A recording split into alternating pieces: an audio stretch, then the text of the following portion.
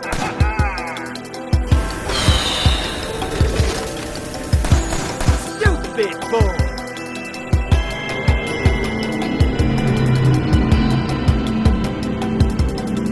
have to do something. Super cool.